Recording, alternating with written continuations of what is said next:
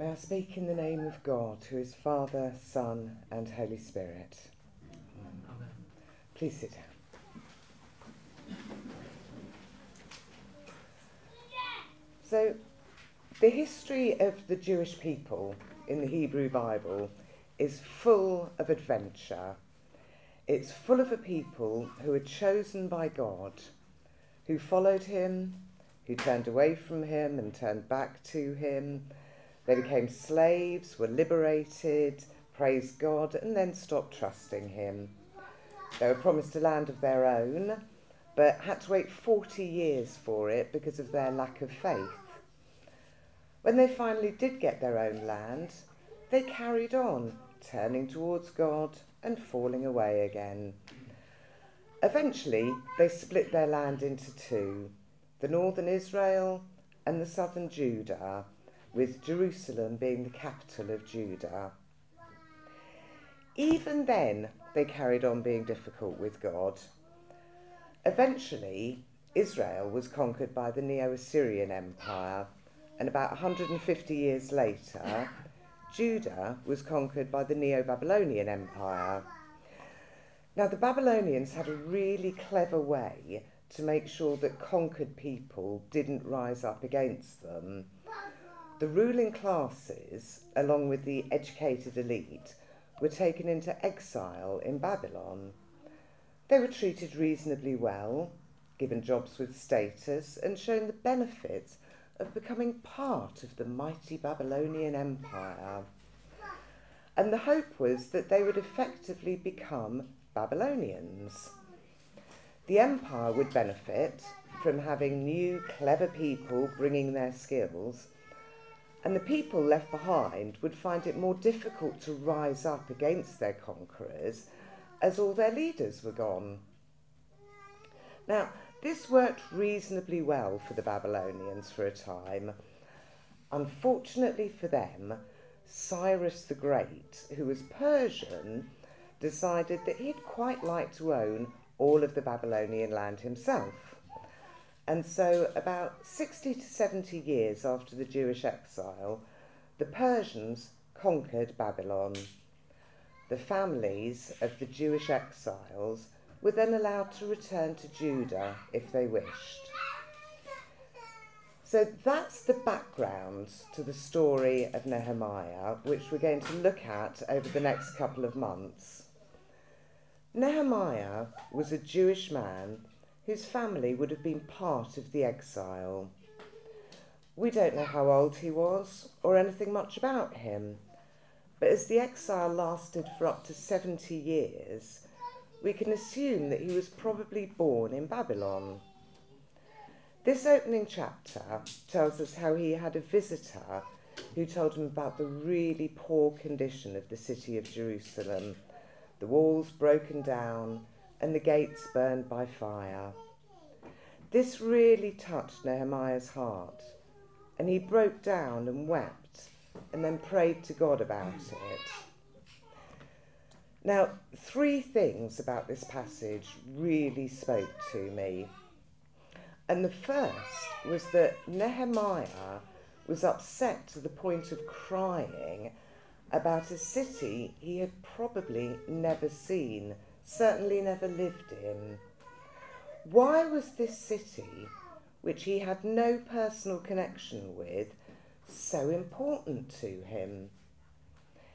He was Jewish, of course, and his parents would have been part of that cohort of bright young people who were taken away by the Babylonians. Possibly it was even his grandparents that were part of that group. He would have been brought up on stories of Jerusalem, of its size and strength, of its wonderful temple built by Solomon, and stories of the God who cared for his people and whose presence on earth was in that temple. His family history would have been so bound up with the city that although he'd never been there, he felt that it was home.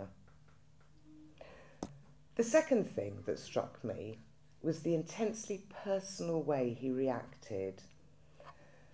Now, most people, well, me, um, when hearing of a disaster, even one which happened in a place which means a lot to me, would, would feel sad, may even give some money to a charity to help out. But we wouldn't necessarily react in the way Nehemiah did. He sat down and wept and mourned for days, not for five minutes, for days, fasting. That is a really extreme reaction. It was like he had a real burden on his heart for the plight of the city. The third thing that struck me was his prayer to God. Now, I don't know about you, but I can be a real moaning Minnie when I pray. I can't count the number of times I've asked God, how could you let that happen? Honestly, there are times when, when I'm talking to God, I'm just like a sulky teenager, just really having a go at him. Uh, he probably goes, Oh, not you again. but Nehemiah doesn't do that. There's no indication that he puts any blame on God at all. Instead, he starts off with praising God.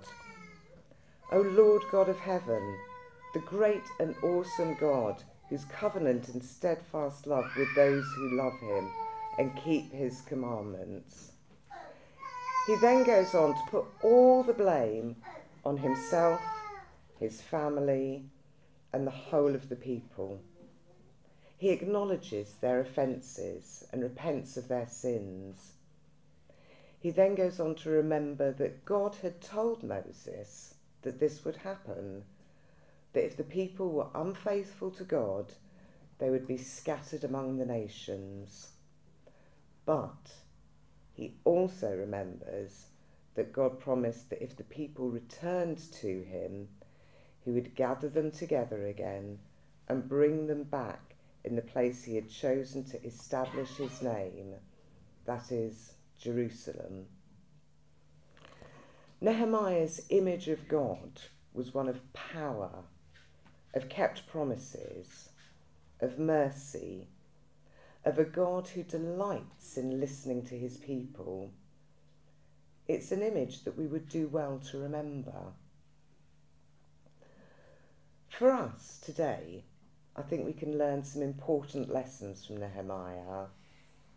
Firstly, I think we can learn how vital it is to hand on our faith. One of the joys of a community of believers is that it should be intergenerational. I love having children in the church having a shaker during the first hymn just lifted my heart so much this morning, I can tell you. And it was really sad not to have all the children's services we normally have at Christmas this year, although, of course, it was absolutely right to cancel them. But the Christmas Eve crib service here, as well as the nativity services at St Mary's, are often the only service that some families attend in a year. The joy of seeing grandparents, parents, and children coming to hear the Christmas story, of learning about their heritage as people of God, is amazing. I love hearing about grandparents bringing their grandchildren to toddler's praise. This is how we pass on our faith, as well as by bedtime Bible stories, stories of how God works in our lives, and of course, by example. If Nehemiah's family had not passed on all their stories, he would indeed have been a Babylonian. He wouldn't even have asked after Jerusalem, let alone be affected by its plight. Secondly, I think we need to understand that the weight the burden he felt for Jerusalem was put there by God.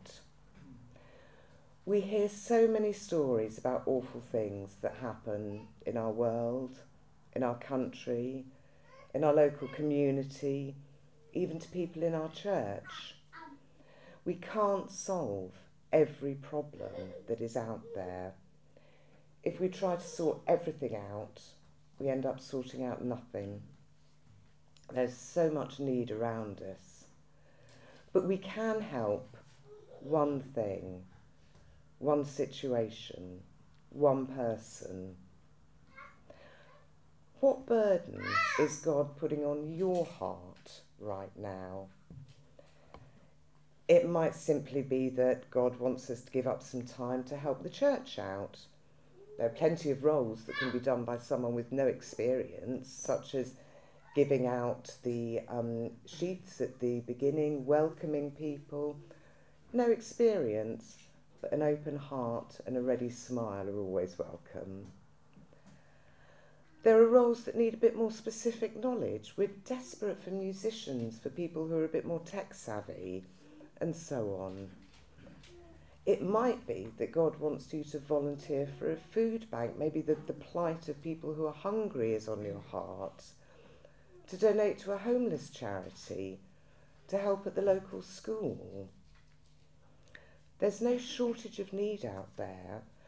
Where is God guiding you? It might be useful to spend some time thinking about the various things you could do and asking God to let you know where He wants you to be, and then accepting that if your heart is burdened by something in particular, maybe it's because God has put that burden on you.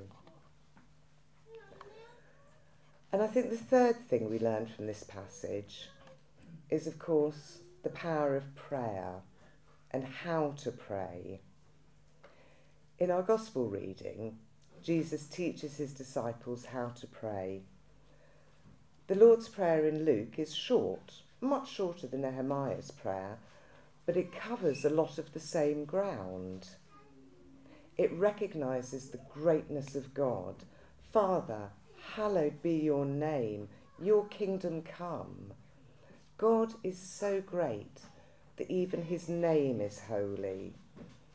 The prayer recognises his kingship, his sovereignty. It goes on, and forgive us our sins, for we ourselves forgive everyone indebted to us. It's a prayer of repentance, like Nehemiah's prayer, as well as a promise to try and do better ourselves. The phrases, give us each day our daily bread, and also do not bring us to the time of trial, are prayers for ourselves, just as Nehemiah finished up his prayer with asking for God's help for himself. Both of these prayers are templates that we can use in our own prayer lives. So, as we journey through Nehemiah's story over the next few weeks, I'm sure we'll be learning many other new things that can help us to develop as the people that God wants us to be. But even when we've finished with this story, my hope and my prayer for us all is that we will remember the importance of handing on our faith, of listening to where God is pointing to us, and of course, the importance of prayer.